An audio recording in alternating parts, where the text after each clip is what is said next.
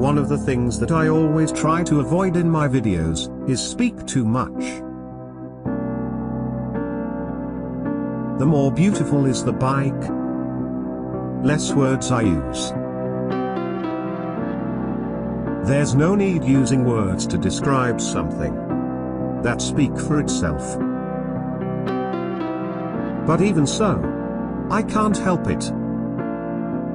Seeing this bike is like looking to a long list of nice and good adjectives. This can only happen with one kind of machine.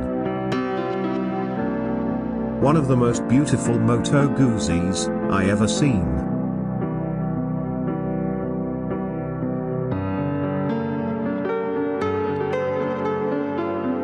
Welcome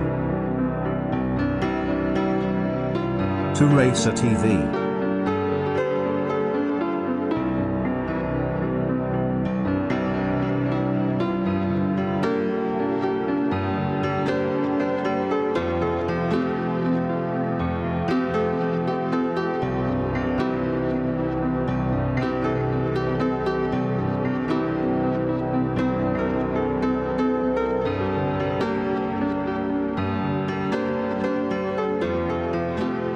As you see, I wasn't lying.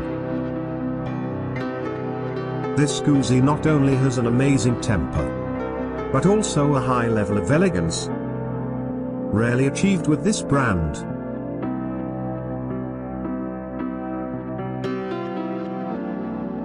There isn't a single detail, making this design to stand out. Because the whole bike, is the main detail.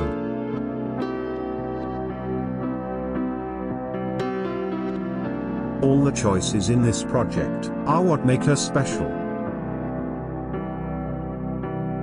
This impressive machine was built in Portugal by Tricana Motorcycles, located in the city of Coimbra. And here is the magician of this transformation. Jonathan Natario.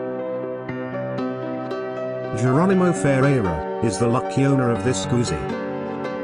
He trusted all the project decisions in Jonathan, including the name of Mondego, which is the name of the river in his hometown.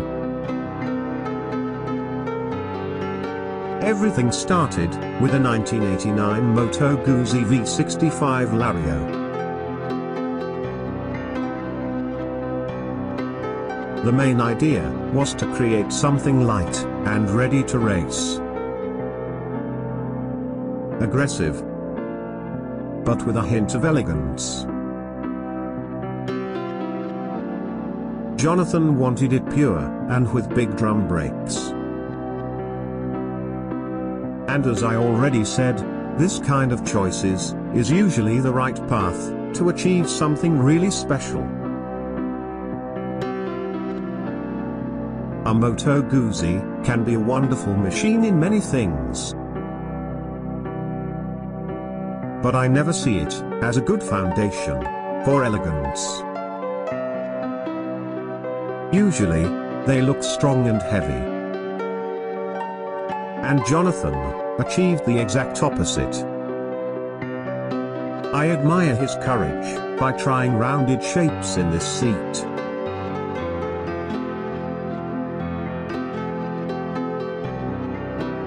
Seeing curved lines in a Guzzi is like seeing straight roads in a mountain.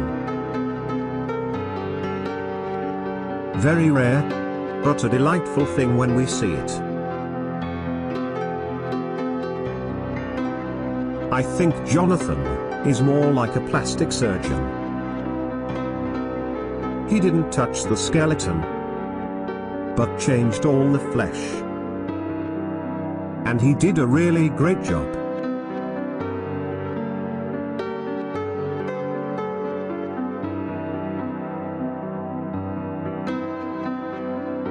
Thank you for watching Racer TV. And as always, I hope to see you next week.